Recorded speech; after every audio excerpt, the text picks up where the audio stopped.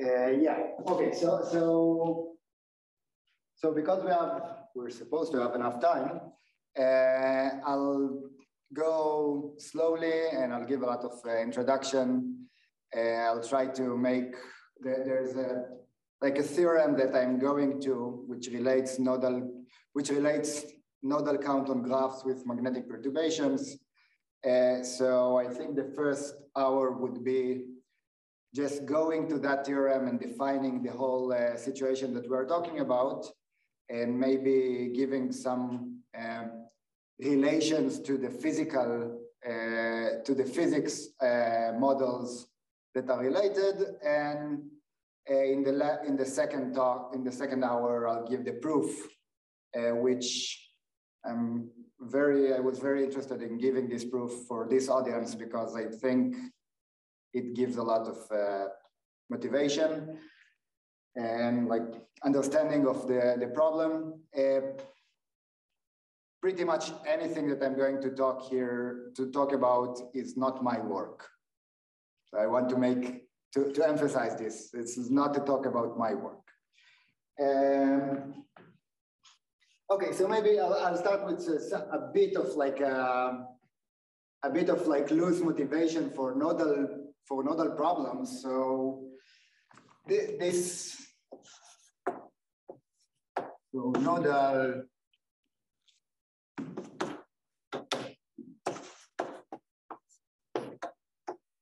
problems.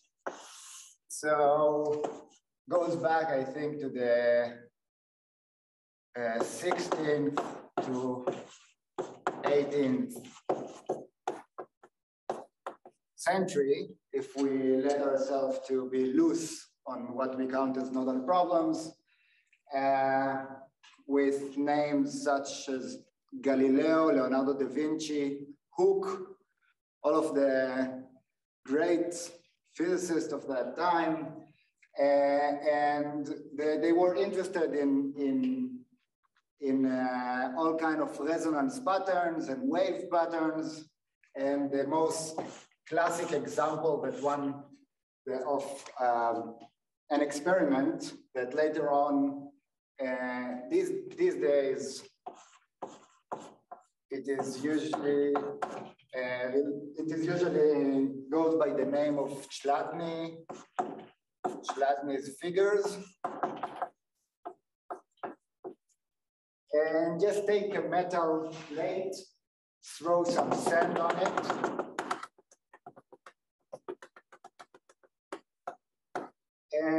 and force it to vibrate according to some uh. So the way that they did it in that in these centuries was just using a, a violin bow.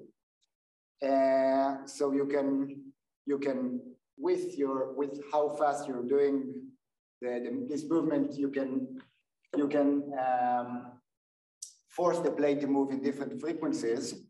And in most frequencies that you're doing nothing extraordinary happens, but when you get to a resonance frequency, suddenly the sand accumulates in certain beautiful patterns and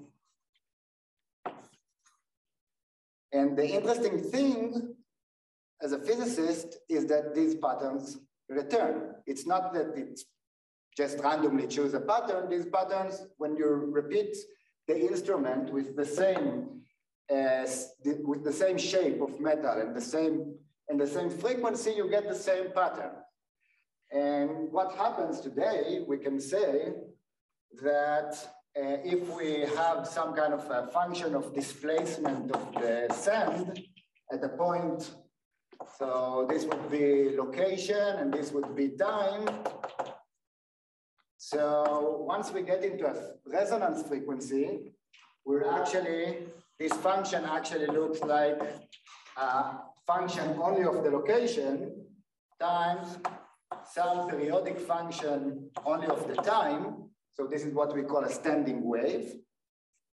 And this f, very roughly speaking, is an eigenfunction of the Laplacian with eigenvalue which is related to this uh, time frequency according to some speed of that relates to the, the physical quantities of this problem. So that's an eigenfunction. If we're looking at this thing from the side, then have, we have the sand here and the sand and the sand jump up and down, but its amplitude is governed by this special function. And in particular, if we add a part, a, a sand here, it would drift into the place where the resonating function doesn't move. So essentially, what we are looking at here in this pattern is the set x such that fx is zero. And these sets, this is, these points are the points that I call nodal points. These sets are the, the, the set that we call calling nodal sets. And the domains that we see here, we call them nodal domains. So that's like a very, very, very uh, hand-waving uh, background on nodal problems. Now it started to get more mathematically rigorous uh, around 1836, where Sturm shows that essentially on an interval, and I'm vague here because there, there, are a lot of details and we can talk about Sturm-Liouville operators and I don't want to do that. So essentially just think about the Laplacian, about functions, functions that satisfy, that are eigenfunctions of the Laplacian, of the one-dimensional Laplacian and say vanish at the two endpoints. So we will see that the first that the first eigenvalue, the first eigenfunction would look like that. The second eigenfunction would look like that. The third eigenfunction would look like that. And if we, we can count so now we, we can either, we want to count something and we can either count the domains on which the, uh, the eigenfunction doesn't vanish, or count the points on which the eigenfunction vanish. The two are related, obviously. Uh, let's say that, and, and Sturm proved that the number of points uh, such that the nth eigenfunction vanish is n minus one. So essentially just counting these points, I know which on which eigenfunction I'm looking at. And this is where it starts to be mathematic. And the next point in our journey is Courant, a Hilbert student from Göttingen, where, which in 1923 uh, showed that uh, for, say that we have some kind of a domain in the plane,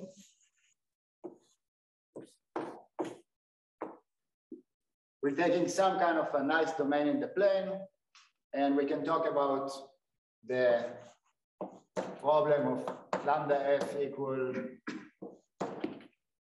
the Laplacian f equal lambda f and f at the boundary of our domain vanish. And now there's no point of talking of counting nodal points. We, we will count nodal domains. We will count nodal domains. And what Courant shows is that the number of nodal domains of the nth eigenfunction is bounded, bounded above by n, uh, which is exactly what we have there.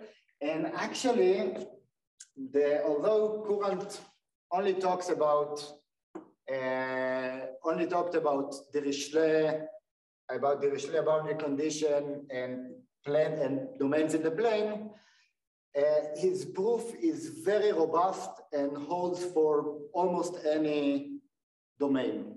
If we're talking about uh, if we're talking about high dimensional manifolds, if we're talking about different uh, different boundary values, different values of uh, the boundary, and even as we will see later on in the case of uh, graphs. Okay, so now at this point, we are uh, getting into the realm of like actual mathematics. And now, uh, and now we're starting to, and now there's like a lot of uh, results, well, probably in the in the last uh, few decades, uh, which I don't want to get into because I want to take this talk to the to the realm of graphs. So here we can either continue with talking about manifolds or go and talking about graphs. Uh, some something that I really just want to, to mention briefly, and I'm not going to write any references because I probably miss a lot of things. Uh, so, um, well, let's call this uh, top, top results today. So we have two kinds of results when we're talking about manifolds. One, which one can say that maybe the analog of counting nodal points is not, uh, is not counting nodal domains, but actually the n minus one dimensional measure of the nodal set. So we have S.T. Yau conjectured that the Hausdorff n minus one dimension of the um, let's call it d minus one of the zero set of the nth eigenvalue uh, should grow like the square root of lambda n. And it's a very rough, there's a lot to be said about this conjecture. And this conjecture was recently uh, proved for every, every manifold or domain with a nice enough boundary. Uh, by uh, the, the latest results are by Alex Logunov and, and uh, Evgenia um, and a, diff, a totally different uh, direction is counting nodal domains of random eigenfunctions. So a lot, a lot of the time we would ask what happens if we take a random and so nodal count of random eigenfunctions. And this would uh, probably be interesting for the people here that are more coming from a more probabilistic point of view, because eventually when, when we're looking at eigenfunctions which are high enough in the spectrum, a random eigenfunction would look like a Gaussian free field with a very specific, uh, with, with a very specific kernel. And this approach that I believe started with uh, Sodin and Nazarov on random eigenfunction, random spherical harmonics on the sphere. And later on was really, the, the, uh, uh there, there was a sequence of beautiful works uh, I think one of one that should be mentioned is the, the work of uh, Peter Sarnak, Igor Wigman, and, and uh, Yaiza Canzani, where they show that for a random eigenfunction, pretty much the nodal domains can pretty much look like any uh, lower dimensional manifold. and they can actually classify their topology and say in which frequency they appear. Uh, so, so again, there's like. Explain what you mean by random eigenfunctions. Are you, are you um, looking at the sphere or, I mean, I know that's one of the cases. That... So, so yeah, okay. First of all, that's definitely not part of okay. the direction of my talk, but yeah, but uh, what do I mean by that?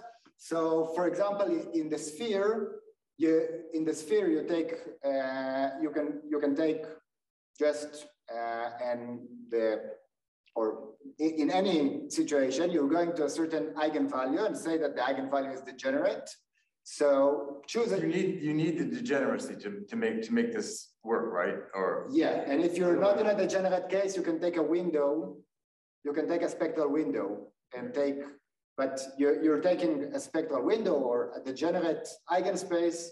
Uh, choose a, a random, okay. choose some eigenvectors, uh, and then give them coefficients which are IID Gaussians so this would give you, would give you a, a random eigenfunction.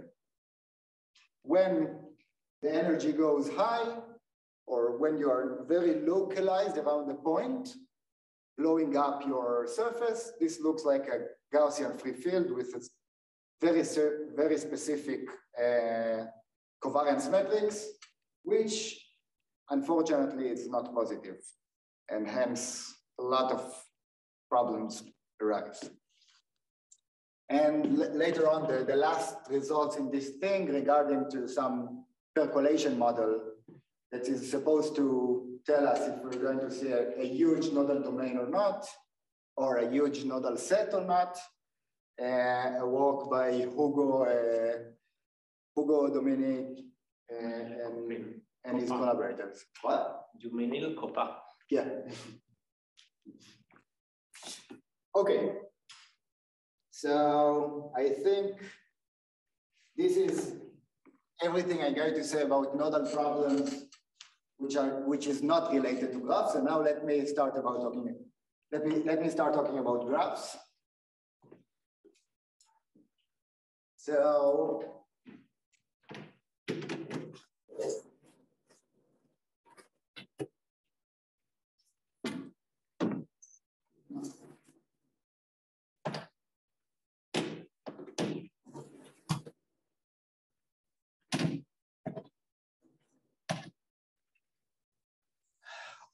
so the one you're going to ride on is not, I mean, you can't move it up. So just, ah, can't. Okay. this, Thank this you. place is full of surprises. Uh, oh, uh, something that I forgot to mention, which another, another very important motivation in all of these random eigenfunctions is that there are several quantum chaos related conjectures uh, that uh, conjecture that the nodal that the nodal count should have the, the, the, nodal count if we're looking at it as a distribution as some sequence of random numbers that coming one after the other should uh, have a certain universal uh, should have certain universal properties that show us that, that show us the randomness of the of the system or the, the chaoticity of the system. And that's a very, very vague thing, what I just said. Uh, but I will, when once I will, I'll present the main uh, theorem, I will actually tell you about a certain numerical work that we're now doing in that direction. Okay. So up to this point, it was very, uh, very vague. Now let me start uh, with giving actual uh, mathematical uh, statements. So,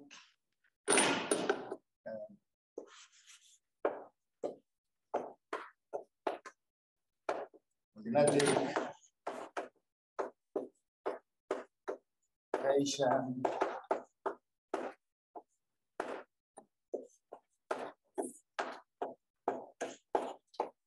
other count on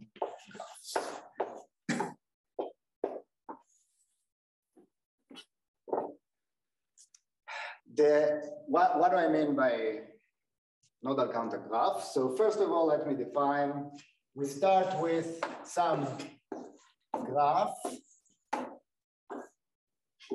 So this would be, this would always be finite connected graph.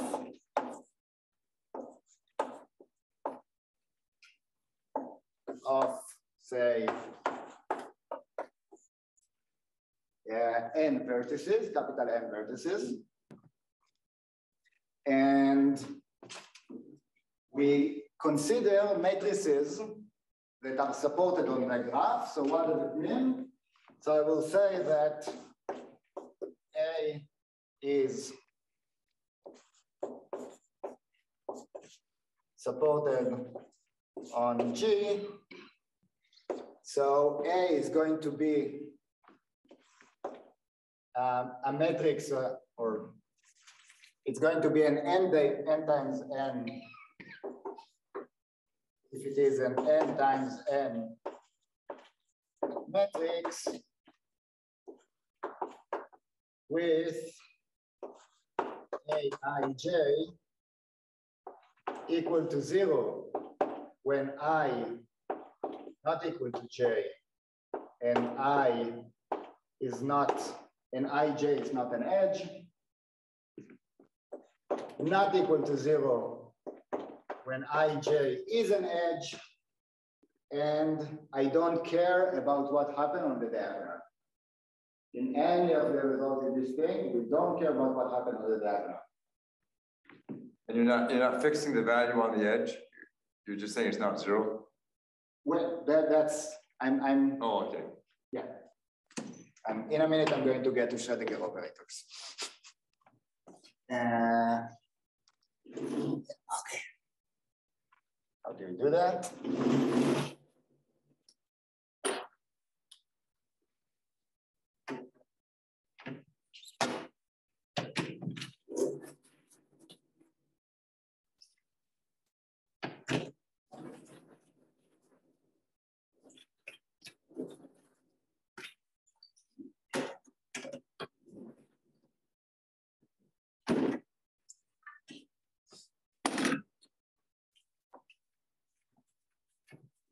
So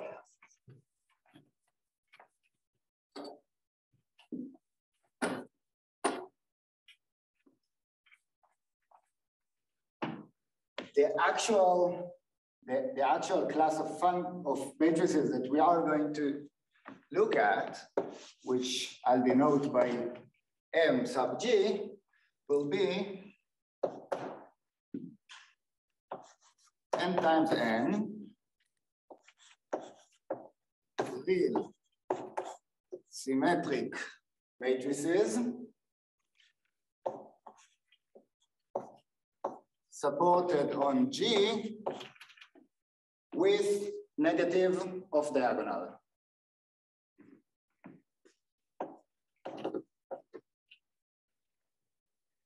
So this is, let me write it as H such that Is and and real symmetric supported on G with entry Hij strictly smaller than zero on the off diagonals, which are edges. So I'm writing H because from um, coming from mathematical physics, and in my interpretation, this is a Hamiltonian or a discrete Schrodinger operator. Uh, what you should have in mind is the Laplacian. Okay, so so L is the kind of like the central object in this setting. Uh, the Laplacian so what is the Laplacian? We, we want, we have L ij equal to minus one if ij is an edge and say that it's equal to the degree of i if i is equal to j. So essentially that's a matrix, a diagonal matrix of the degrees minus the adjacency matrix.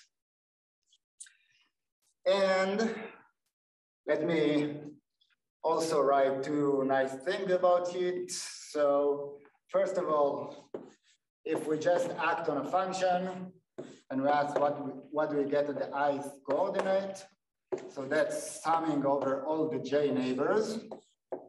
So I'm summing over j, which is a neighbor, and say that I have fi minus fj. Okay, and this thing, when I'm, I have a function and I'm looking at an edge and looking at the difference, I will call d of f. So, so this would be d of f at the edge ij. Okay, so notice that d of f is something that takes a function on the vertices and produce a function on the edges, but a, a, very special type of function, a function that where we, if we plug ji instead of ij, we get a minus. And this is what we're later going to call it one form. And it has a quadratic form. So, uh, quadratic form. So if we're putting F, L, F, this would be sum over I, sum over J next to I, F I squared minus F I F J, which is nothing less than summing over all pairs summing over all edges, df ij squared. So this is something that I may write as such. And whenever there's a, so here we're actually, this is an inner product on the vertices, this is an inner product on the edges. There's possibly a half missing here. I wouldn't care about it. And if, if there's a, a possible uh, way of misunderstanding, I will denote this with zero and this with one. Uh, this is saying that this is zero, it means a zero form means functions, one mean one forms. Uh, so And we will, a lot of the time, discuss these matrices in accordance with their quadratic forms. okay. So now I'm almost getting to the point where I define what is the nodal count that I'm looking at.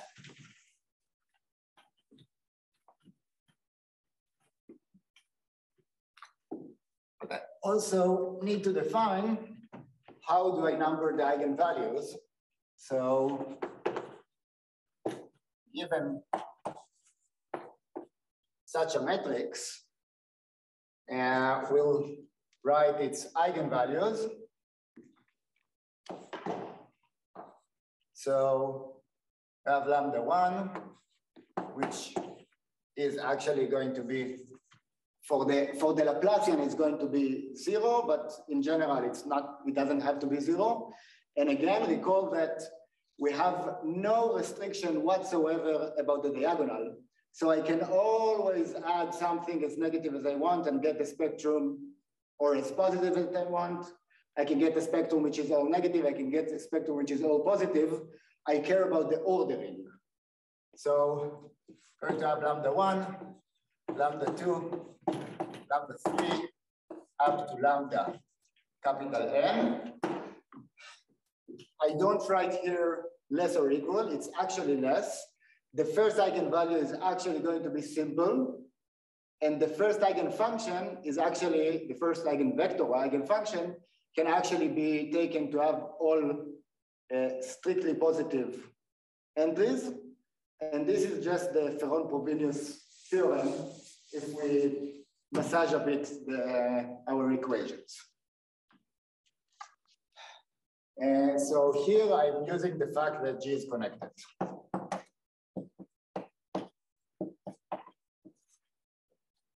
And for each one of these, we have an eigenfunction.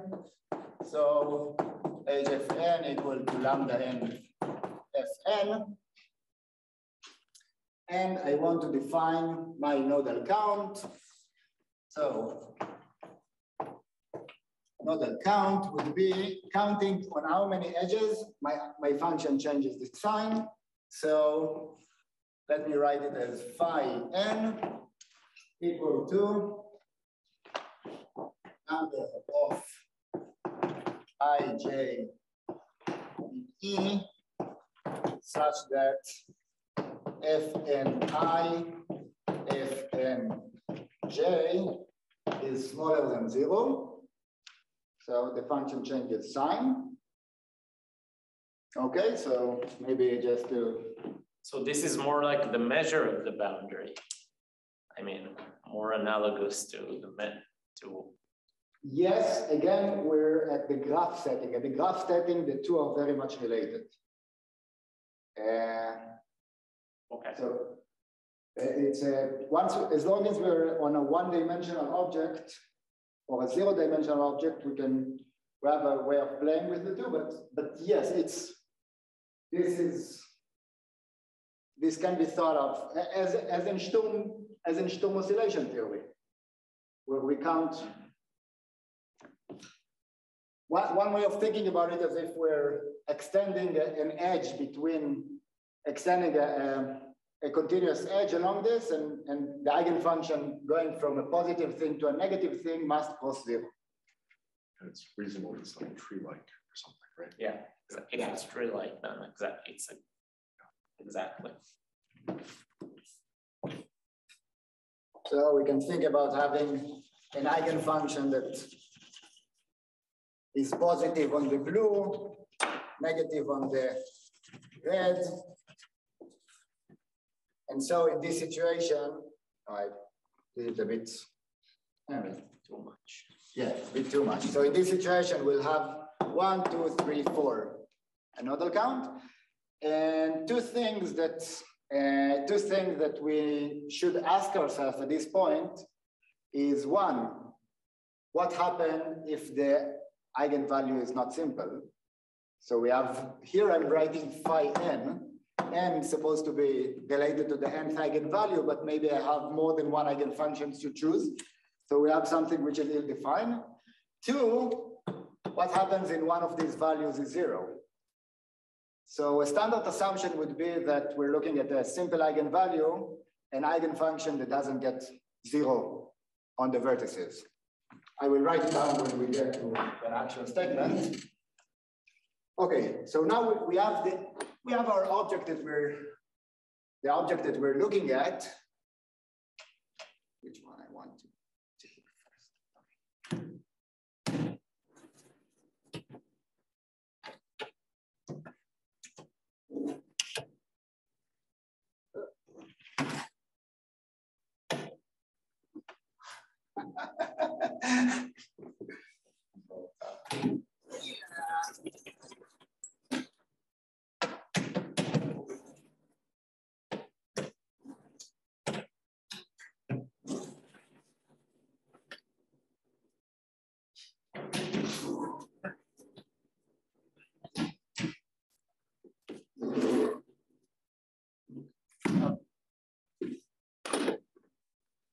So let me state two theorems uh, before, two, two theorems that were known prior to the main result I'm going to discuss, which the main result I'm going to discuss would imply these two theorems. So as John already mentioned, there, the issue of a tree, first theorem by Fiedler, in eh, 1975, says if G is a tree,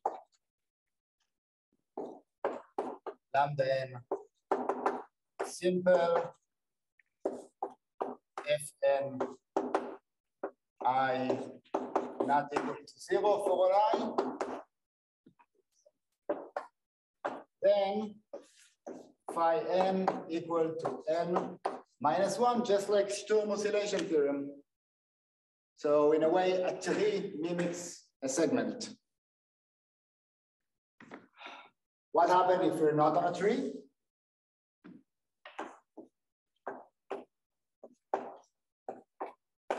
So there were several results between Fiedler in 1975 and Berkolaiko in 2007, which I'm going to, uh, I'm not going to go over all the entire history, but in 2007, under, so for any G, and that these would be our standard assumptions.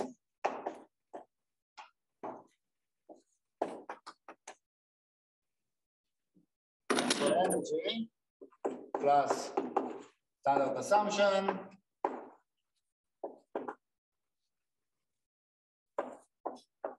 So we want something that goes with this thing.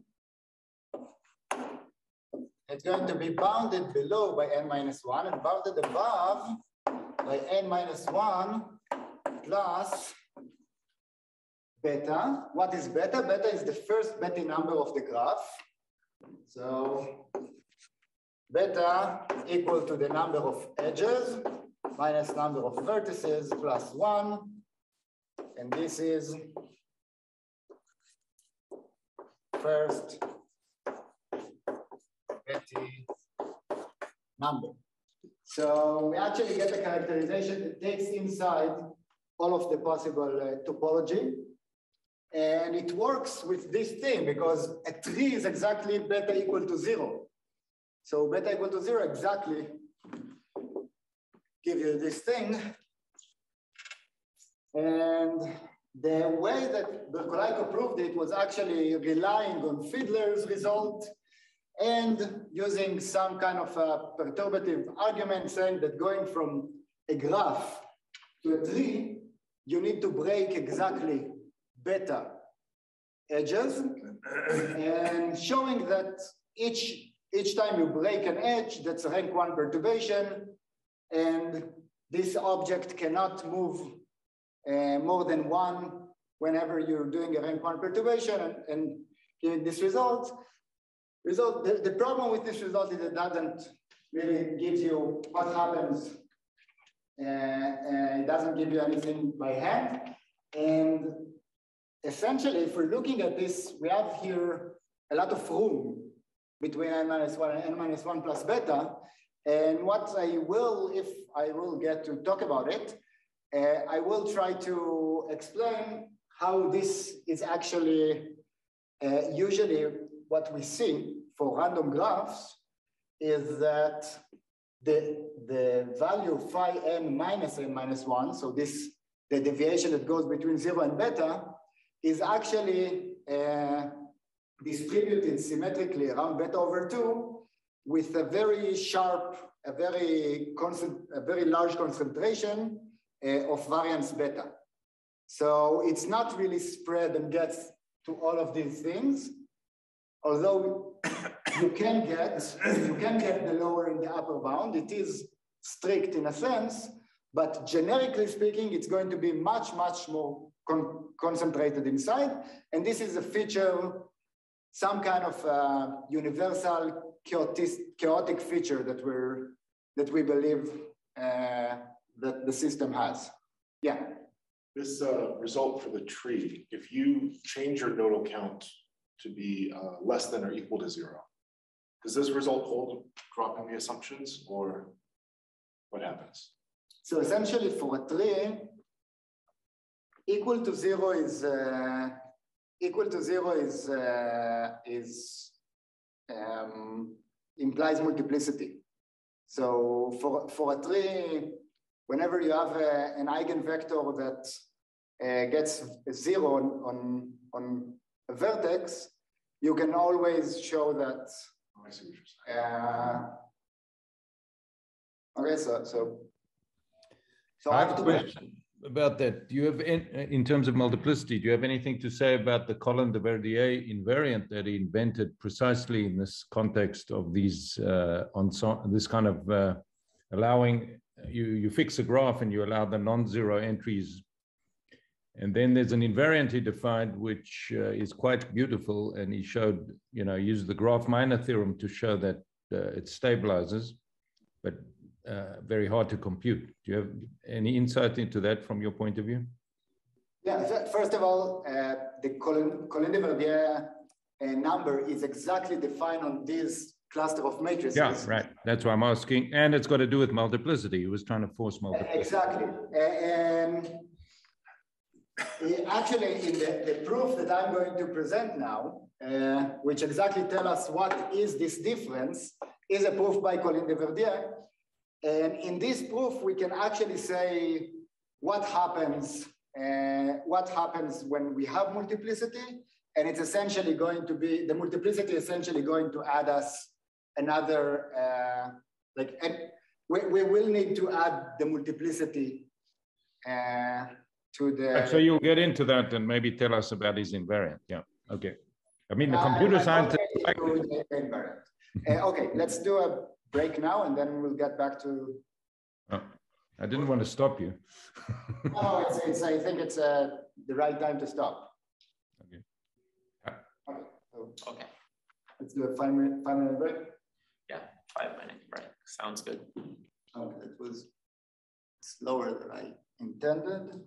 I guess that's a good thing.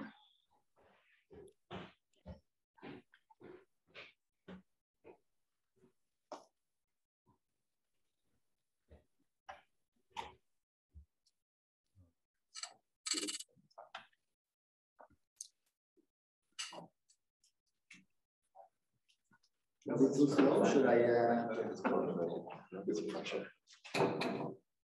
was it too slow? Should I go faster? Let's- Um, I mean, I guess now it's going to be a bit more, like, there's gonna be more. yeah, Yeah. So.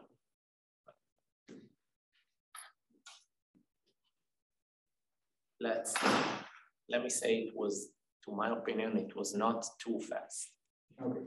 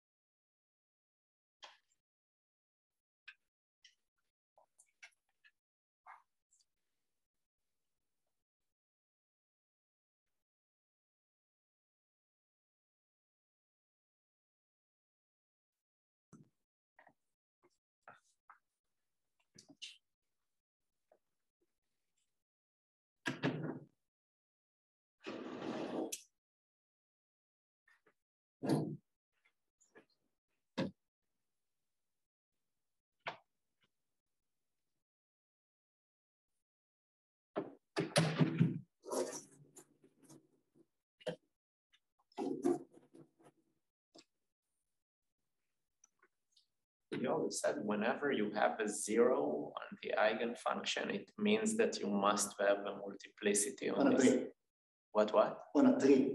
Ah, okay. I see. definitely not true Yeah, yeah. graph. Okay.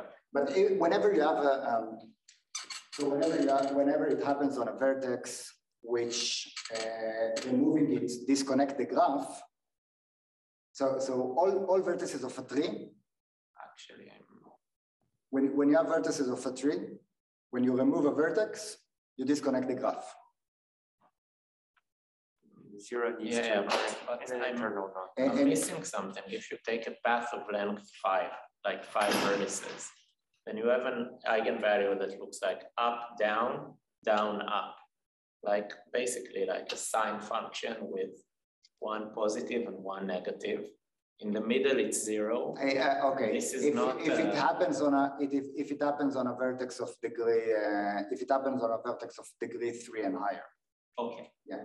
Yeah, that's, uh, yeah, that's like the, uh, on a vertex of degree three and higher, I see why. You can kind of disconnect it and say have Exactly. two, uh, and and then, and then. now I see that claim.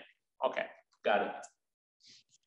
you- Like a vertex of degree two is kind of dumb. It's, the- it's kind of like, uh, you know, if in the continuous setting, it's a removable singularity. yeah, exactly. And a vertex of degree one is like boundary. Yeah, yeah, sure. Uh, let me know where can I, when, when should I continue?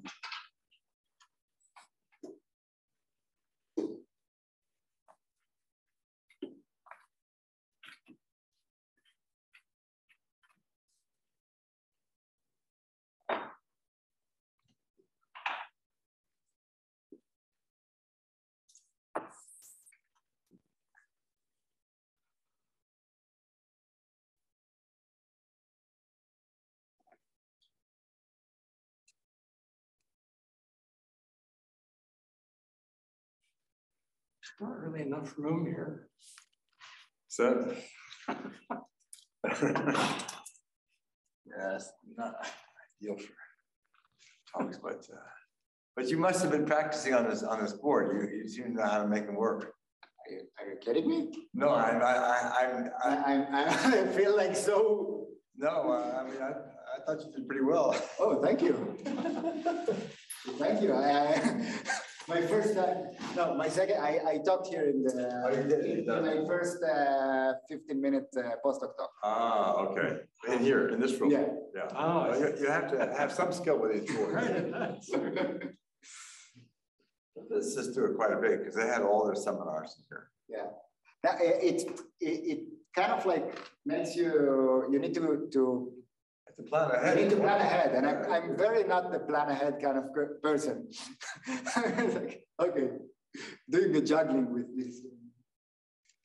I think you can continue. Okay. So, okay, so now I'm going to, to introduce something, uh, some perturbation to this model. And essentially, we're going to show that uh, that the nodal count or the difference of the nodal count from n minus one equal to this to uh, some index with respect to this perturbation. So, and this perturbation has a lot of physical meaning, uh, but it's very simple. So say that A is any A which is uh, self-adjoint. So I don't want it to be real, I want it to be self-adjoint. Supported on G, then A must have the following structure. Aij equal to E I. I'm sorry for using I twice. I hope you'll understand from the context what do I mean. This and this is not the same I. Uh, e to the I alpha ij times h ij, where h is in my very nice cluster, and alpha is in something which I call omega one of G. What do I mean by that? I mean alpha, uh, alpha of ij is real and alpha of ji equal to alpha of i equal to minus alpha of ij. So these are antisymmetric matrices, antisymmetric uh, functions. But essentially, that's exactly what happens when we have a matrix. We don't, it's self-adjoint, so real on the diagonal. And whenever we're looking at an off diagonal entry, we can always write it as some e to the i alpha times, in our case, real non real negative entry, and here it would be e to the minus i alpha and the same and the same thing. So this thing tells us that we can get from any that our starting from our cluster of matrices, we can get to any self-adjoint matrix supported on G, and we can do it using these parameters, which essentially lives on a torus. So essentially we have here a, a torus acting, a torus acting on MG, taking it to all self-adjoint, uh, to all self-adjoint matrices. But now I'm only interested in this thing. So if I let this thing, this alpha get all possible values, I can get to every self-adjoint matrix, but now I want these alphas to be just local perturbations. So I imagine these alphas to be very small. And then I can call this thing H sub alpha, where H0 is my H. So this would be H0.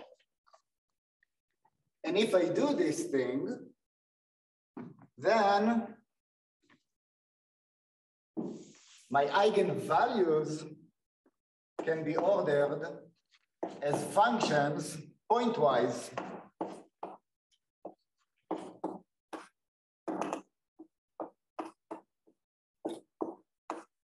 As functions of these alphas.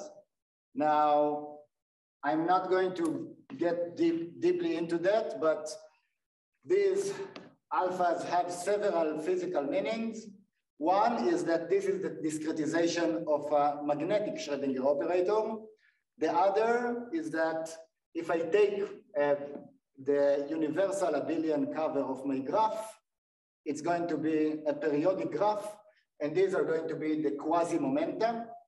So that's coming from, uh, from the language of, uh, of uh, solid matter. And then the eigenvalues as functions of these alphas would be the dispersion relation manifold. And in the work of uh, Peter Sarnak and Alicia Kollár, they call these things the twisted uh, Laplacian. So they use the, the term, they, they look at these things as characters of the of the homology of the abelian uh, cover. So a lot of naming for this simple uh, model. And what I want you to have in mind is that we're starting, we're taking H and we're tuning these alphas, playing with them a bit around it and ask what happens to these lambdas. And we're getting the following theorem. So we call it, we had phi n goes between n minus one and n minus one plus beta. So we kind of want to know what is phi n minus this n minus one. What is this deviation? This deviation is going to be the following.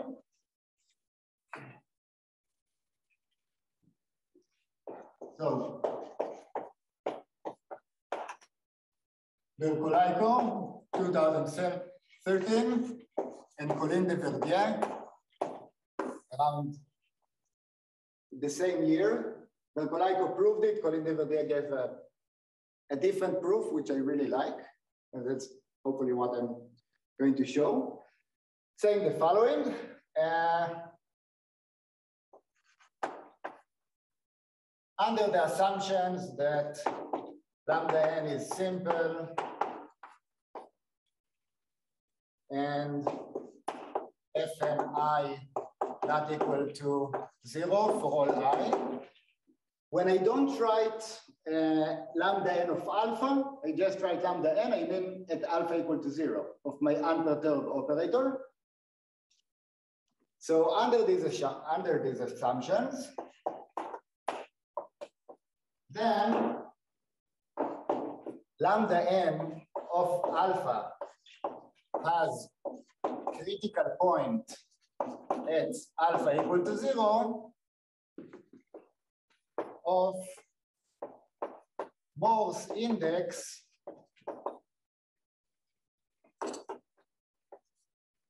index lambda n at zero equal to phi n minus n minus one.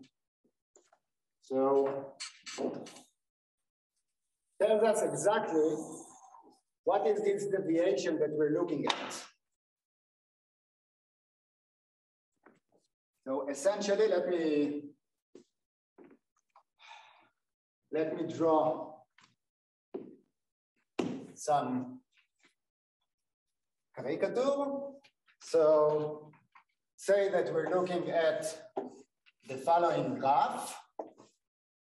So essentially, which I'm going to show in a minute, this index only care about uh, only care about what happens on the cycles. So I'm going to get two parameters. I can reduce everything to one, to alpha one here and alpha two here. I, I can draw a picture of, say, alpha one, alpha two, and lambda n. And whenever locally I get, whenever locally I get the minima, I know that phi n would be n minus one plus two, and say that I have some kind of a saddle point, then I know that phi n equal to n minus one plus one, etc. So just as a reminder, what is a Morse index? A Morse index, this is, if I write here the, the others, Probably it's not good to write there. I'm not sure. Uh, we, we can't see. okay. So,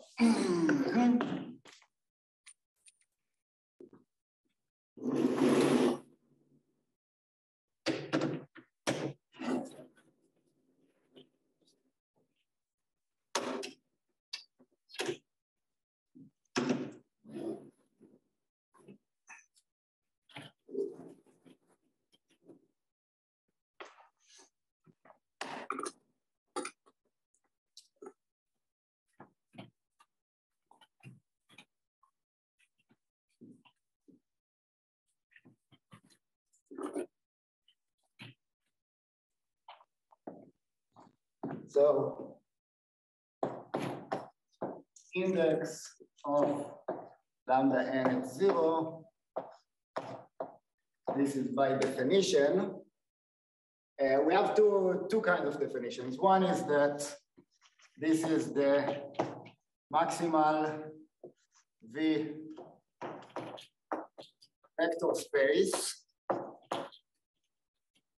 uh, maximal dimension of V vector space such that lambda n t v uh, is uh, has a local maximum, so it goes down. Let me draw it like this.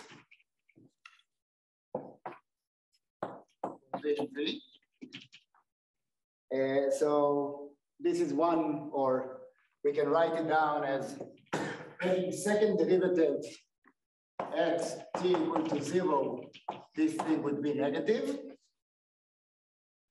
Or a nicer thing would be just talking about number of uh, negative eigenvalues of the Hessian of lambda n at zero. So it's weird because it's eigenvalues of the Hessian of an eigenvalue.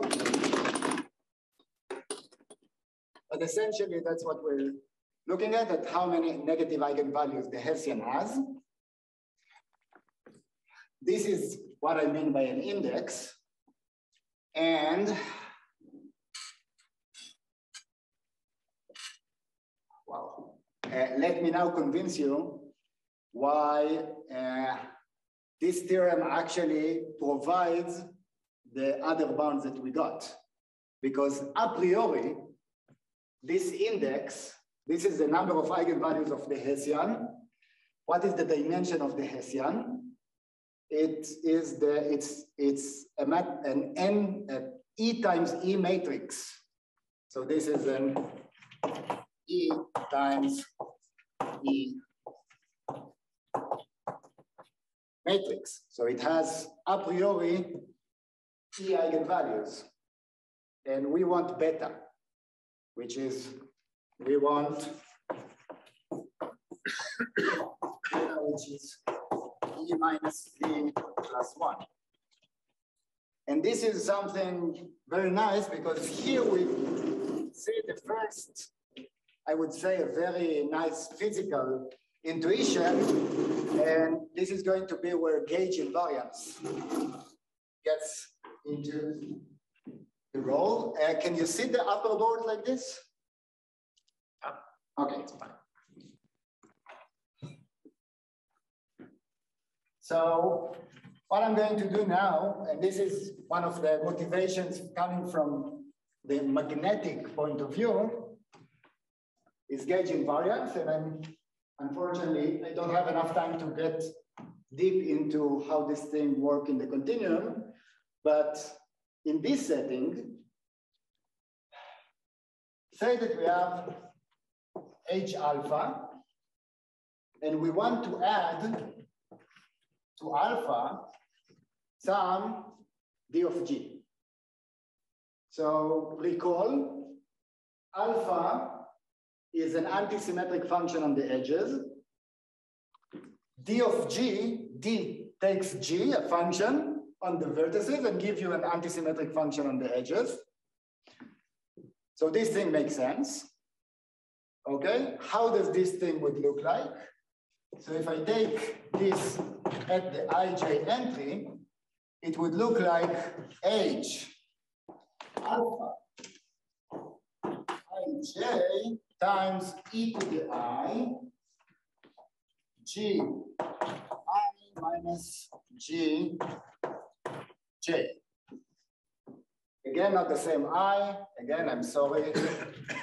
or sorry that Euler didn't came with a better constant. Uh, so is this clear? Why this is, this is simply the D, D of G of ij. But this thing is exactly taking e to the minus ig, h alpha, e to the ig, at the ij entry, where I use the notation e to the ig simply a diagonal matrix of e to the ig1, e to the ig2, etc. So this thing tells me that shifting, shifting alpha by a derivative is actually unitary equivalent because this matrix is unitary. It's actually unitary equivalent to H alpha, which means that my eigenvalues don't change.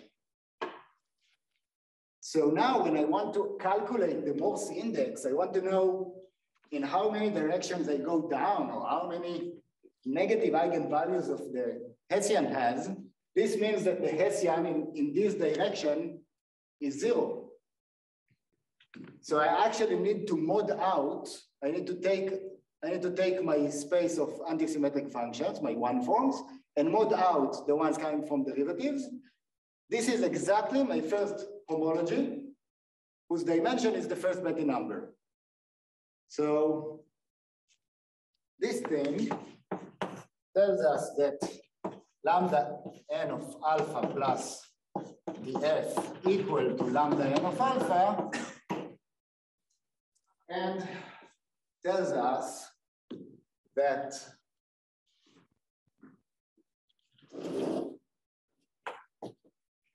index of lambda n at zero is bounded above. So this is a this is always a non it's it's a it's an integer, a non-negative integer, and it is bounded above by the dimension of omega 1 mod d omega 0, omega 0 functions, which is by definition our first Betti number.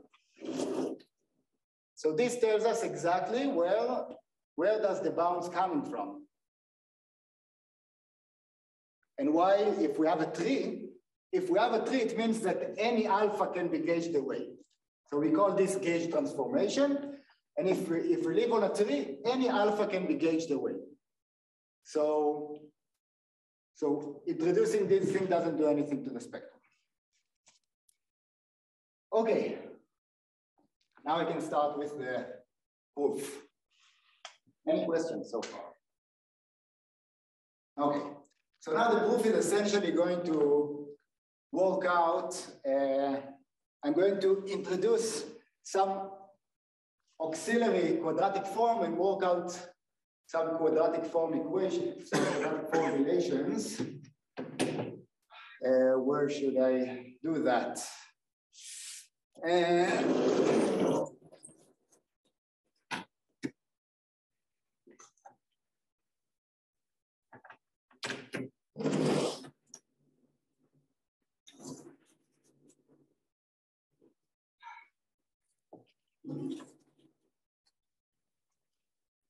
Tom, I really got some motivation to work with this after you told me I'm doing it okay.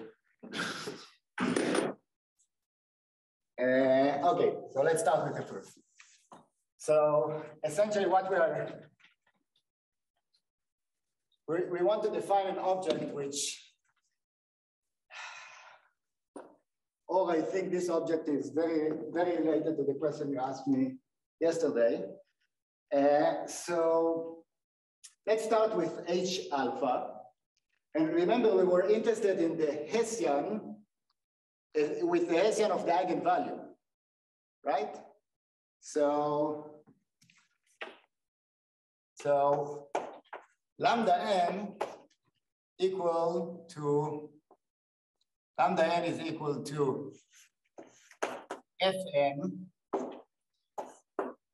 H Fn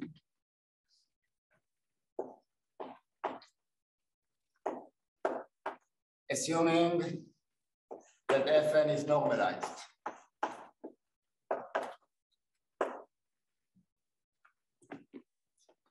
Now we can, a priori, we can change everything with alpha to take the Hessian and take the Hessian, right? But Sir, can you repeat that? what? Can you just repeat that? If I want Hessian of lambda n at zero, Hessian of lambda n at zero would be taking Fn alpha, or taking, we're taking the Hessian of Fn alpha, H alpha, Fm alpha. Right?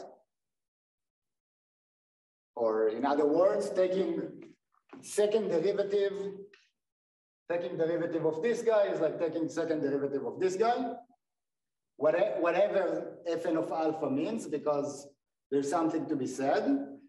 But now I want to say something else. Let's Instead of looking at Fn of alpha, I'm going to actually to define a different, so this was just a heuristic, but I want to define something which is not quite the same. I want to define a quadratic form, Q,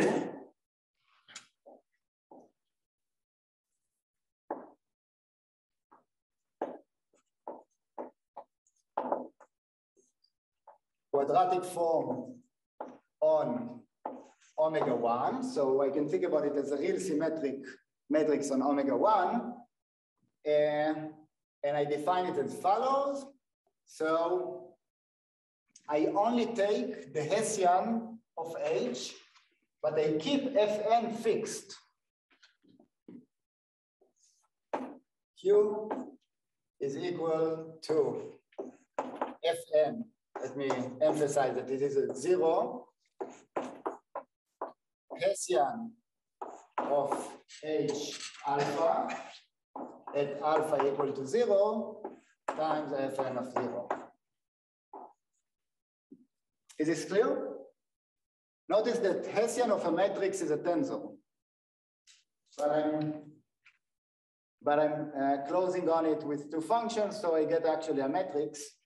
And something that would become useful is that Q, say that we're, we're putting alpha Q alpha. So what does that, so this equals to, take second derivative with respect to t of fn h t alpha fn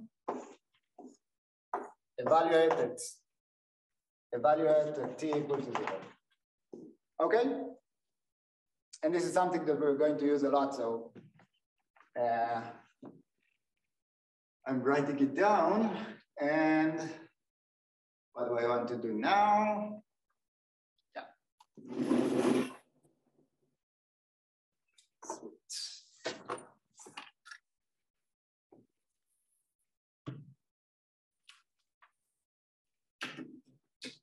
So now essentially what I want to show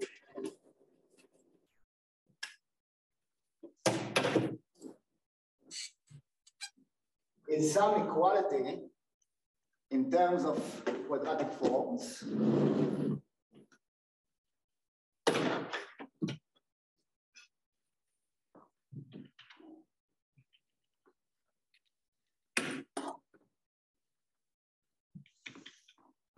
We're going to have the following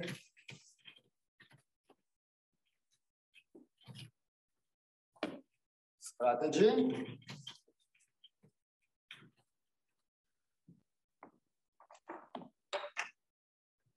So the strategy would be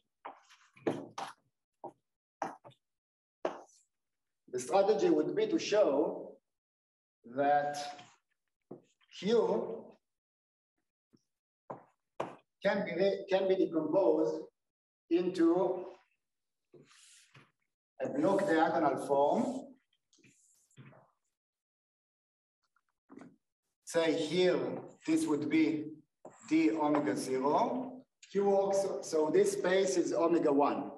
So I'm going to take the part which is d omega zero, and I'm going to take some orthogonal part to that. So the orthogonal part would be the image the, sorry, the kernel of D transpose Q. This would be an orthogonal decomposition. I need to, to show that. In this setting, Q would, would be block diagonal, where we're going to have two parts. We'll say Q1 and Q2, such that index.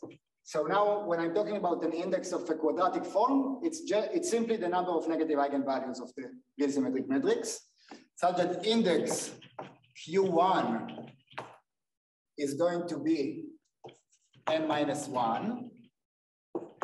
Index of the big Q is going to be phi n, and Q2 would be equal, maybe up to some positive constant, to the Hessian of lambda n at zero. So this is what we're going to do. Let me stop here for a moment to stare at it. Do you see why this gives us the needed result? the Morse index would be the sum of these two. And this exactly tells us that the index of this guy plus the index of this guy equal to the index of this guy. So in a way, this quadratic form both hold the information about the nodal count and it somehow gives us a nice way of looking at the gauge invariance. Tell us this quadratic form changes in some way when, when, when we change the gauge, but for some fixed choice of gauge, this quadratic form is exactly the, the Hessian of our eigenvalue. Okay? Perfect. So this is now, so this is now our goal.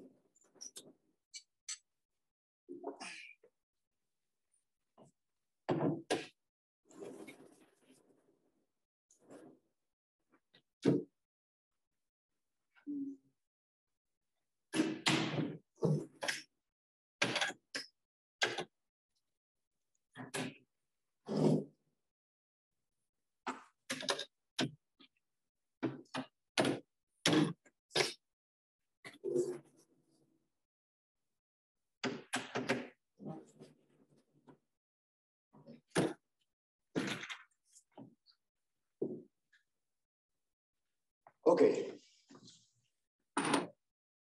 I, think I think the first thing I want to do is show that the index of Q1 is equal to n minus 1.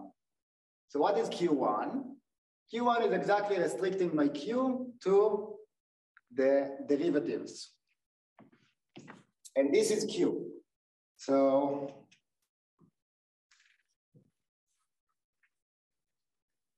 just erase something that I wanted. And maybe I, I go down again. So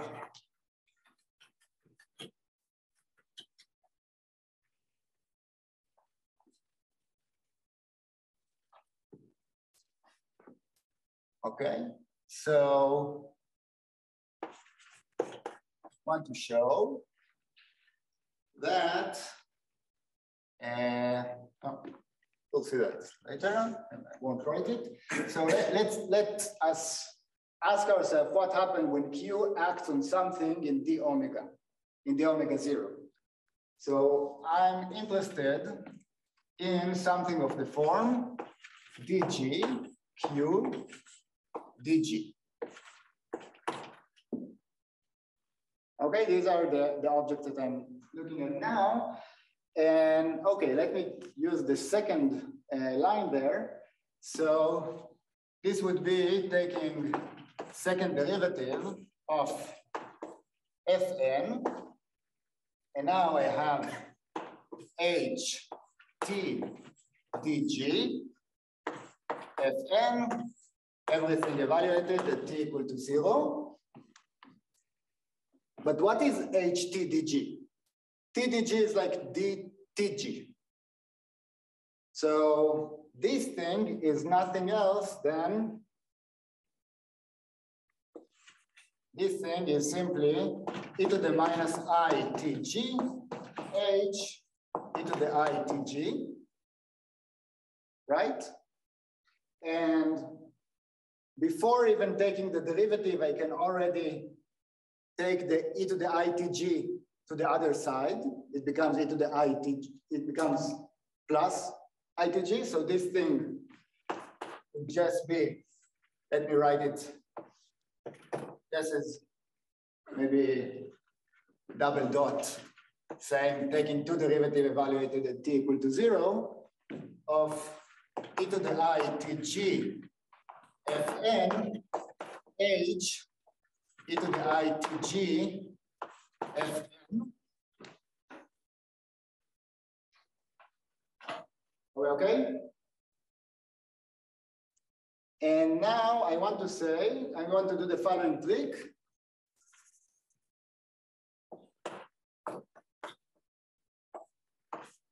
Let me write it like this. Why can I do it? Because I just added a constant. This term is simply lambda n. Lambda n at zero is a constant. These two are the- these two are subtracted and these two, it's a norm one. So I can do this thing. Why, why do I want to do it? So now I, I, I have three, I have a product of three things that I need to take second derivative of. So essentially I'm supposed to have like three choose two or something elements, but I want to say that whenever I take two derivative of this guy, I get fn and I evaluate at t equal to zero, I just get fn times this thing, which is zero.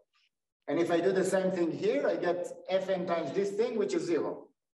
So I'm only left with taking one derivative of this guy and one derivative of this guy, maybe twice. What happens when I take a derivative of this guy? We call that that's simply having the having tg at the diagonal. So when I take a derivative with respect to t, I get pointwise multiplication with g. So this thing is, is nothing else than maybe up to a factor of two, g, pointwise multiplication fn, h minus lambda n, g pointwise multiplication with fn. Are we okay? And here comes the, here comes where we need fn not be equal to zero at the vertex. When fn is not equal at the vertex, at, at any of the i's, it means that multiplying g pointwise with fn is invertible. It's an invertible linear map. Since it's an invertible linear map, it means that the index, the index of this thing, if, I, if I'm running over as a linear space of g's, so now I want to run over a linear space of dg and ask when, when does my quadratic form goes down? And it's exactly as running over the linear, linear space of G here. And I can just take the different linear space where I multiply by Fn. So it's exactly going to be the index of H minus lambda n. So this means this entire thing means that the index of Q1 is equal to the index of H minus lambda n. How many negative eigenvalues H minus lambda n has? n minus one. Okay? Are we good? Okay. How much time do I have? Um, Yeah, a bit more, thirty-five minutes. Oh, perfect. Okay, so now let me let me show why why this why Q actually breaks down in this form. No, let me let me now show that index of Q is equal to phi n. I think why it breaks down, you basically explained already, but so. It- it's it's basically this thing. It's uh, But I mean, I mean, I mean, if you don't have enough time, maybe start from the Q2 part, which is, oh, look, or, or the index. Yeah, let, let me start with the with the index q equal to phi n. Uh, so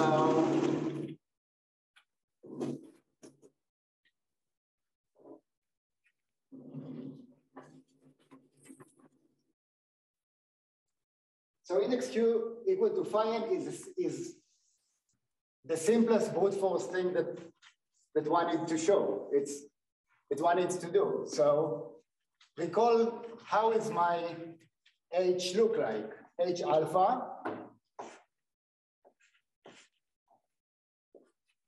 H alpha at ij looks like e to the i alpha ij h ij, right?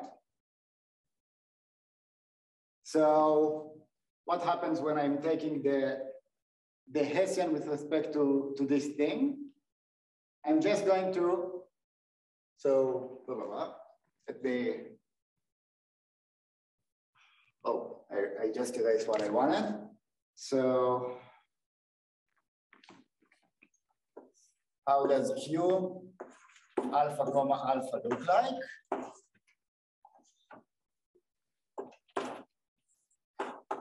Want second derivative of Fn, H alpha Fn at t equal to zero. Okay, so H T alpha would just be T here. So when I take a second derivative with respect to T, everything that happens is that I get uh, alpha minus alpha here. Okay? So I'll just get the minus alpha alphas here. Every, I'm just, I just need to take the second derivative inside. So maybe H T alpha double dot T equal to zero is simply a matrix with zeros in the middle. And at the sides, I just get minus alpha ij, hij. Right? And it's real symmetric. And what happens when I act on it with Fn from both sides? I simply get summing over all pairs minus alpha i alpha ij I think you get a squared. It's important actually. Minus alpha h minus alpha squared h i j f n i f n j. So it's quadratic in alpha. It's diagonal with minus f i f n i f n j on the diagonal. So counting negative negative eigenvalues of this quadratic form would be essentially on how many times fnij, fni, fnj is negative. Okay? So this is exactly the index q equal to phi n. And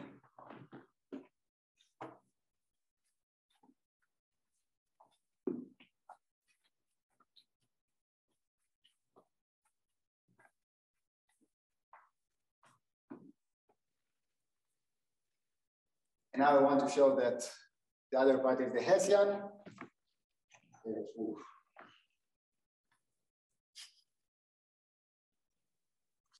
A good place to put the iPad. And to do that, I actually want to, to point out two nice things about what does it mean to be in the kernel of this star of Q. So if alpha lives in the kernel of this star of Q, this means that alpha, uh, alpha, this star Q, I don't know what to say here. Alpha in the kernel of this star Q, meaning that alpha q df equal to zero for all f. So this is what this thing means, right? Q is, Q is symmetric, going to the other side, no problem. And I want to claim that for such a situation, the first derivative,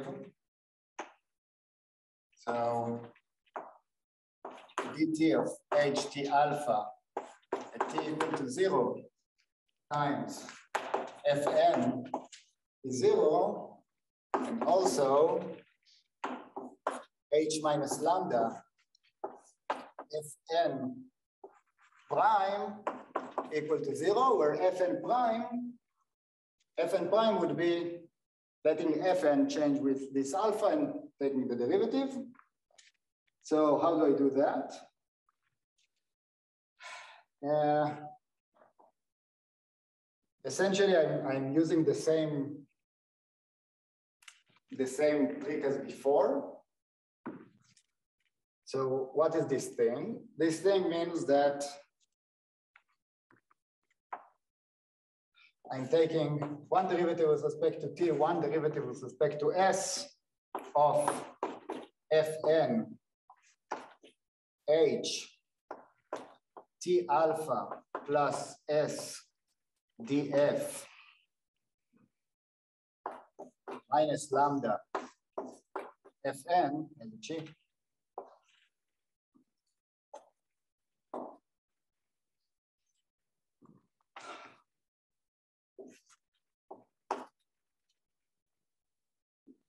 and essentially doing the same gauge invariance trick just for this part of the S, I get here just the t derivative of uh, g dot fn h t alpha.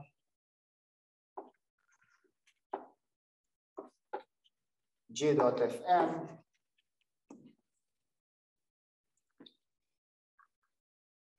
and so this thing is equal to zero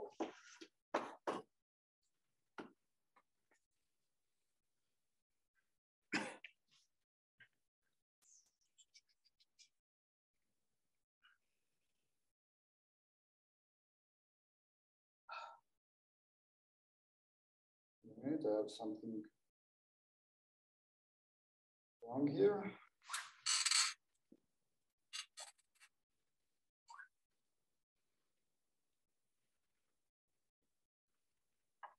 No, sorry. I just took one derivative.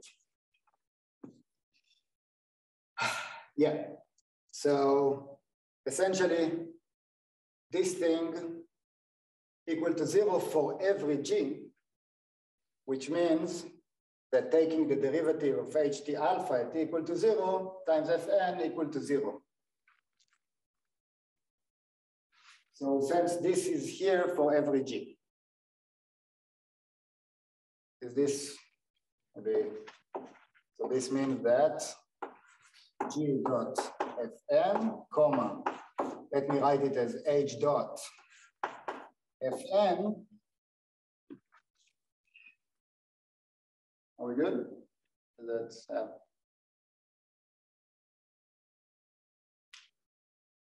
so if this is if this holds for energy and fn doesn't have zeros, so this so I, I get here any possible vector on this side. If it's zero for any possible vector on this side, this side must be zero. So it means that h dot fn equal to zero.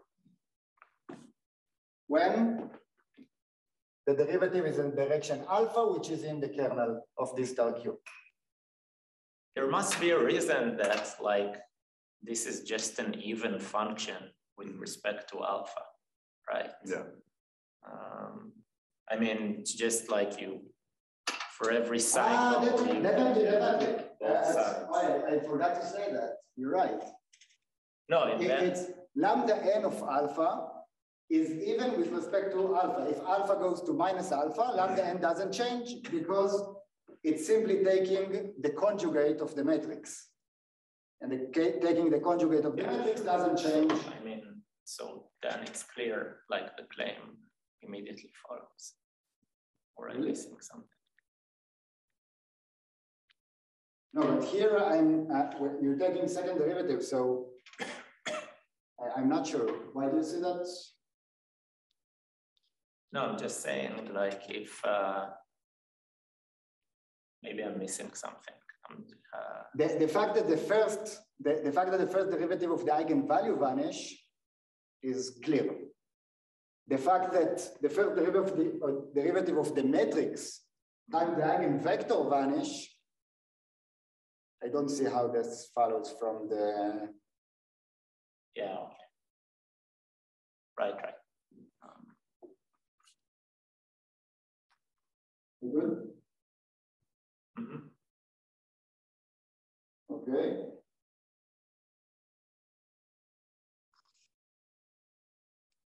I don't remember who, uh, there was a great mathematician that said that one should never uh, take derivatives in, in public.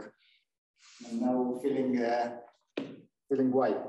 Uh, okay, so this tells us, so this tells us this thing. Now we want to get this thing. So essentially, let's take h minus lambda n fn comma fn. This thing is, or maybe without this thing already, this thing is zero, right? It's zero by definition. And say that I let them, let everything evolve with alpha, it stays zero. This is the defining equation. So I can take derivative with respect to alpha. So a derivative with respect to alpha would be h dot fn minus lambda n dot fn plus h, where am I?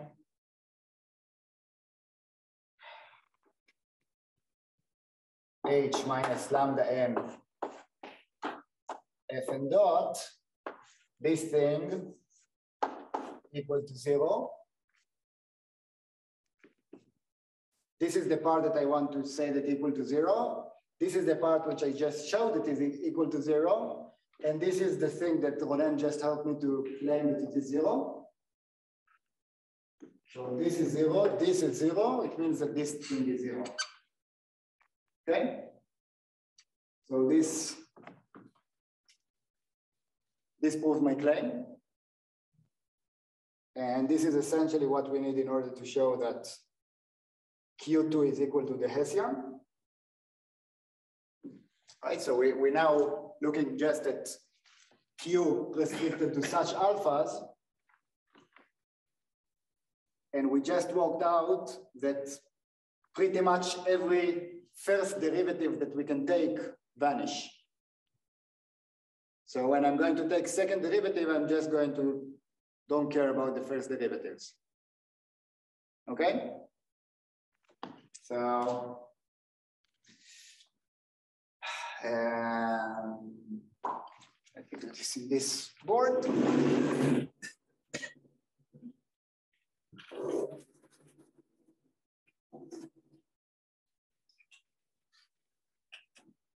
It feels like I'm good with time, so hopefully I'll be able to talk a bit about the numerical experiment that we did.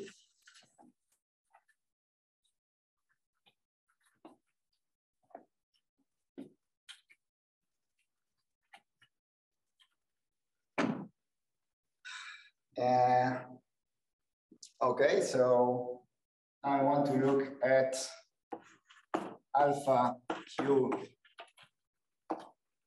alpha, where alpha is in kernel D star q. Right, so this means that I'm looking at Fn ht alpha Fn, and I'm taking second derivative, and exactly as we did before,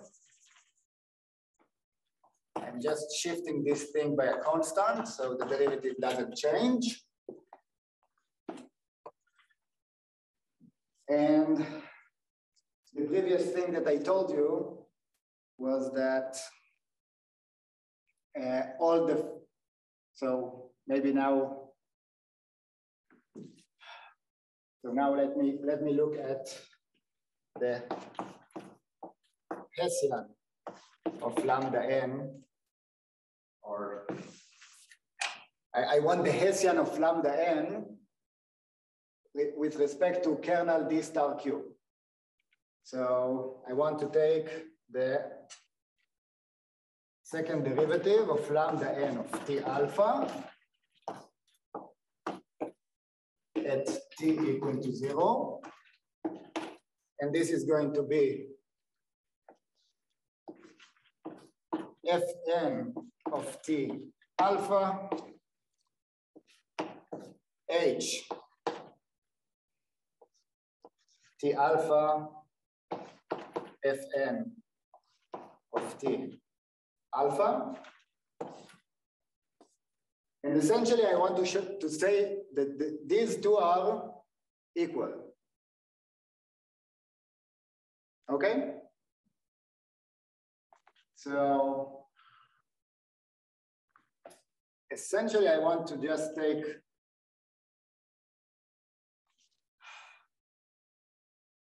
I want to do this? I, I want to, I want, like essentially what I want to say is that whether I let Fn change or I fix Fn is the same. So if I don't have this thing here, then these two differ only by whether I let Fn change or not. Right, and that's exactly, and that's exactly what's going to be killed by the, by um, the argument of the first derivatives. Let me see if I, what I want to say here. Okay, so I'm looking at the, at the null equation. So the null equation would be Fn T alpha H T alpha minus lambda n T alpha acts on Fn T alpha. And this is just equal to zero everywhere. And I'm taking for every t and I'm taking two derivatives. And I get, I take t to zero. And now the thing is that what I, previous, what I previously said is that exactly, I cannot take one derivative. okay? Whenever I take just one derivative, everything You else. don't have to, rather than you cannot. Yeah, yeah, yeah. I don't have, to, I, I can, I can throw these one derivatives away. So essentially, this thing is equal to uh,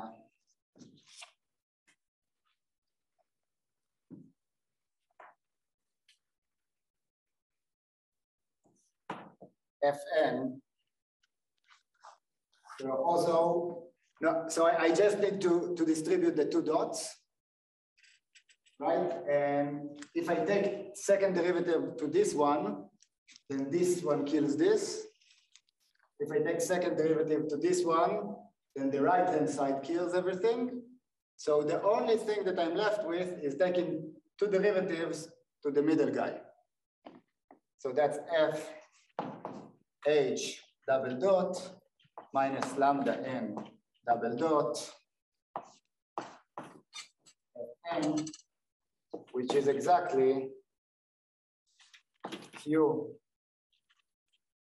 This is exactly alpha q alpha minus lambda n double dot. Is this okay? Sorry for taking derivatives in public. Uh, so essentially what we got is that plugging in alpha from the second uh, from the second vector space into Q is exactly as, as taking second derivative as plugging in this alpha to the Hessian of lambda. And since the gauge invariance tells us that on the upper left block, lambda n, the, the Hessian is zero, so it's exactly proves that Q2 is equal to the Hessian. Up to possible two factor two that I keep neglecting.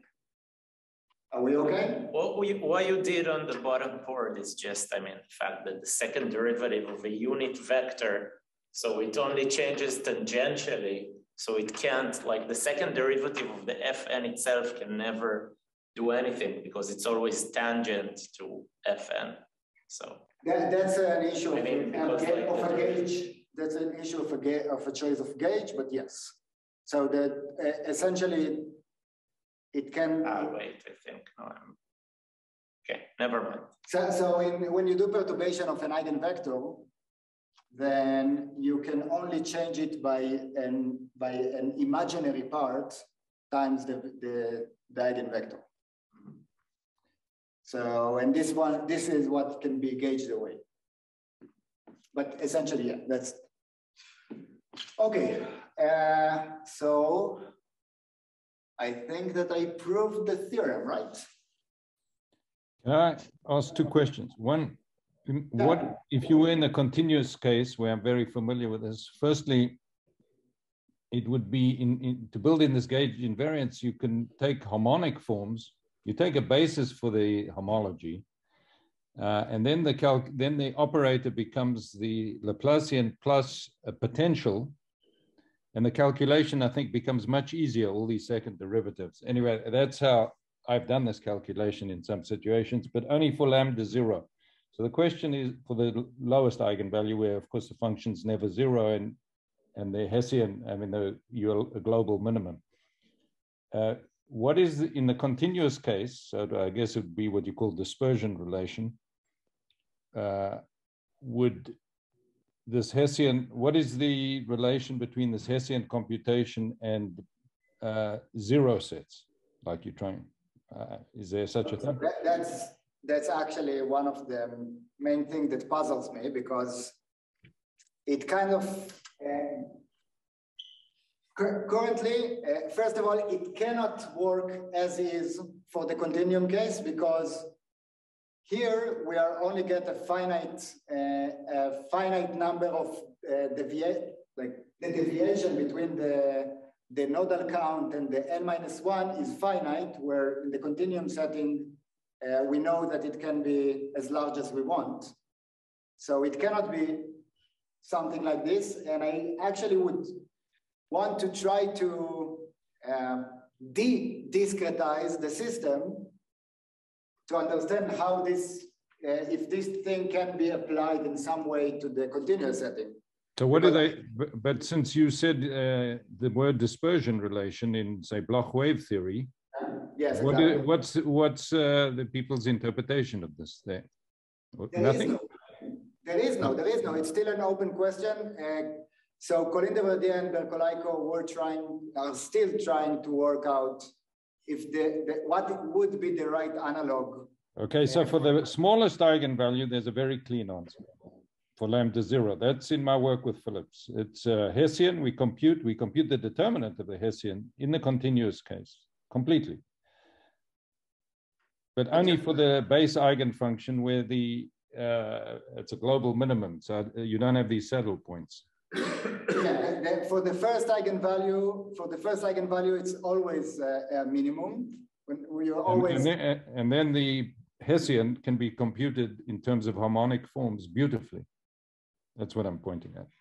So, I, okay, so you don't know for the other values that in the continuum. Okay, so that answers that. Thanks. yeah, but I, I think that uh, that's exactly, using the harmonic forms is exactly the, is exactly what needed in this case to resolve the issue that, that now you, you need to be, uh, in the continuum setting, you need this answer to give you the possibility of high as possible uh, of, of infinite dimension. And I think this would be, this would be exactly taking, loo- looking at the space of all harmonic functions. But uh, anyway, I'll, I'll be happy to, to, to talk more about it. That's, that's one of the main things that I'm interested, that, that, that interests me in this uh, question. Okay, thanks.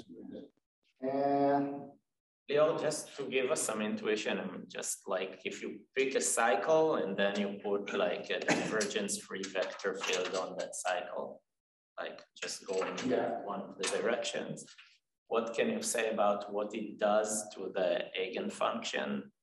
I mean, to an eigenfunction. so, so it's a, it's a good question because the whole question of nodal count becomes irrelevant once you introduce alpha because the while the spectrum still is still real, the vectors, the eigenvectors are no longer real. And in a way, uh, there are some, at least for the metric graph case, I can show that as long as you're as long as you're in a, in a critical point of alpha, being a, being a critical point of alpha means that you get eigenfunction which is uh, real up to a constant. But, and whenever you break this thing, so it's as if your you, you, your eigenfunction starts, say, if you're in a, in a continuum setting. So this, this uh, profiles also for metric graph. And in such case, you would see that uh, an eigenfunction that starts like this would start wrapping around. So it, it is no longer real, and the no, and the and the zero count becomes kind of like a winding number. But when you take alpha from one side to one to, to the other side, this winding number changes. This winding number change its sign. It's like the, the, you reflect this, the, the chirality changes. So if I have like just once my graph is uh, just a cycle and then I have some something that looks like a cosine and I put a little bit of like a divergence free thing on the cycle, it's just adding to the cosine a little bit of i times sine, right? So if you had something of this form, I, I, I don't take just the, the cycle graph because this one has no uh, simple eigenvalues, so I add something. Uh, oh, so if you take this thing, once you start inserting a, a non-trivial flux, a non-trivial magnetic flux, uh, a non-trivial, then this thing would start going around like this. And this is one of my uh, so and and and you can and one, one thing that you can do by gauging away is actually taking all of this flux into one point where you break it. So you can just write it down. so it is unique, unitary equivalent to the same system where you don't have, when you don't have the, these fluxes here, but just from here to here, you have a jump of e to the i alpha. Uh, so in a way, it's, it's taking all of these windings and, and take them here. And of course, in a skewed periodic condition, if you cut this interval open, normally you would have just periodic condition, but here it is periodic condition. Yeah, so, so something that can be seen in these cases is that we can use it to define the nodal count for any metric, for any metrics. We don't, for any real matrix, we don't need all of the off diagonals to be negative. We just need to count with respect to the sign of the of the off diagonal. So the entire theorem holds if we replace the nodal count with the signed nodal count. And we're actually using this to, to, so we got here this, uh, we could call it the, the, nodal defect or nodal surplus, the, the difference between phi n and n minus one, which is some number between zero and beta. And if we just take, just take the histogram of this thing, so, so pick random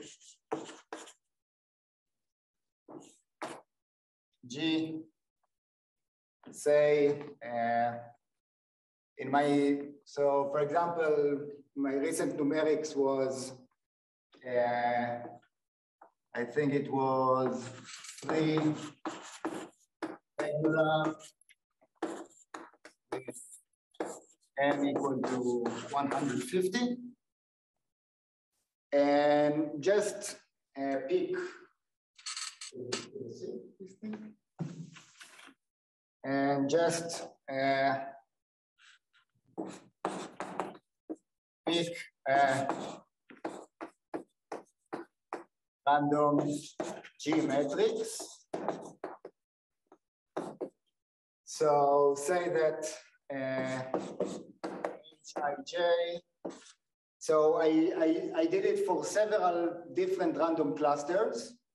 Uh, so we can take them all to be, uh, say, uniform on minus, uh, minus one zero, or we can take them to be uh, Gaussian. IID. And just have a look at the have a look at the at the distribution of these indices.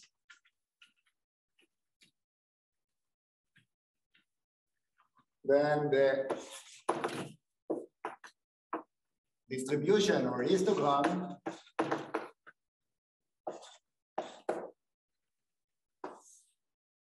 Of phi n minus n minus one.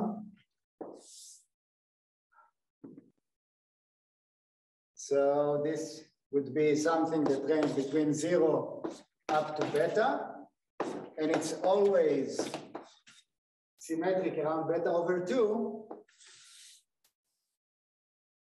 and is centered with the variance of order beta. Beta, well, something like something like beta over four. So it's very close to binomial distribution usually, or maybe a, maybe a squeezed, a, a more squeezed binomial distribution. And we, for the metric graphs, we have, we actually have several proofs for this kind of results. For the discrete graphs, we have no proof. And we still see this thing and you see the same behavior over and over. In this picture, the randomness of G is quenched, right? You kind of fix G, and yeah. for most G, will have yeah. this. Yeah, but I did it, you know, I did it enough times so that you can you can also also say that you, yeah, it's fixed G. Yeah.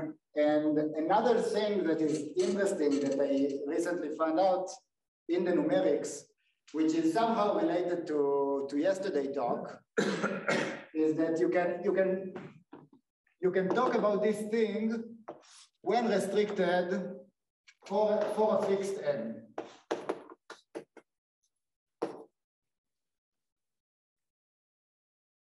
And for a fixed n, so that's like would be, what would be the average number of this thing for a fixed n? And apparently it is very much depends on the n, and we have an inversion symmetry. So for a fixed N, for a fixed N, we see, so we have N ranging from zero up to capital N.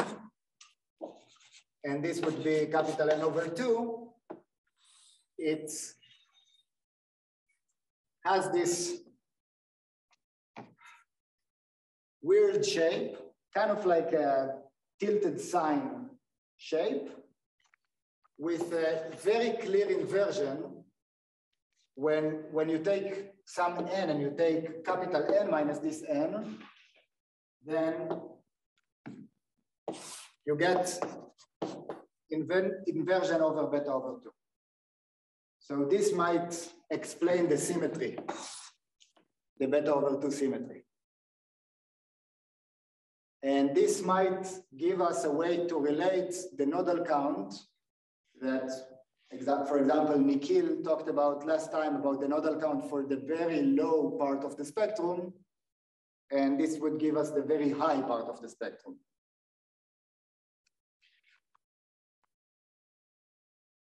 So this is uh, a purely experimental results. We still have not, not a proof or any intuition for why this thing happens.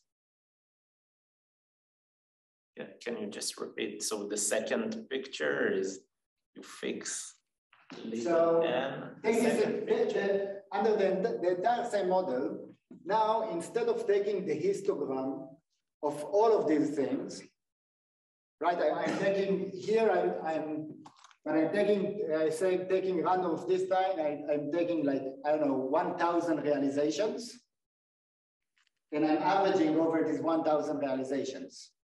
So here I took all of these guys for all of the 1,000 realizations, and I put them in the histogram. But then instead of doing that. And, and the left one is really, you can, like for most realizations of both G and H, you will see this function, right? Just as a function of I, I, I'm not sure about the quenched. I'm not, I, I guess so, but I'm not sure about the quenched. I, I need to, to have a look at it because I'm always looking at, uh, I'm always averaging over everything. Okay, okay. Uh, but this, so this picture is like averaging over this over the n.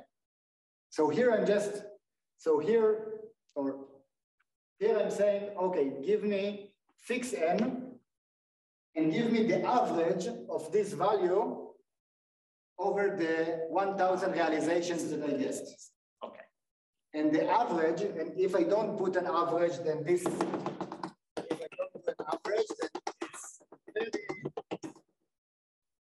very nicely, like fits very nicely around this thing.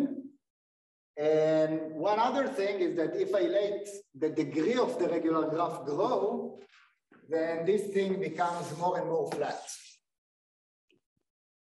So this behavior that we're looking at here somehow relates to the degree of the random regular graph. And we have some kind of um, reasoning, we, we, we think that this may be related to the random, to the random wave model, uh, to, to the conjecture that locally, that, that locally eigenvectors look like eigenvector of the of uh, of uh, of the d-regular tree. So that's essentially what I had to say. Thank you, Lior.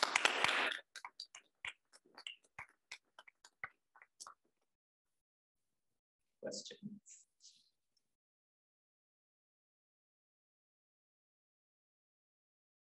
I already took too much of your time asking questions myself, so maybe we'll take everything else offline. Okay, so maybe one last comment. Uh, today is my 35th birthday, so thank you for celebrating with me in this uh, in this occasion. Happy birthday.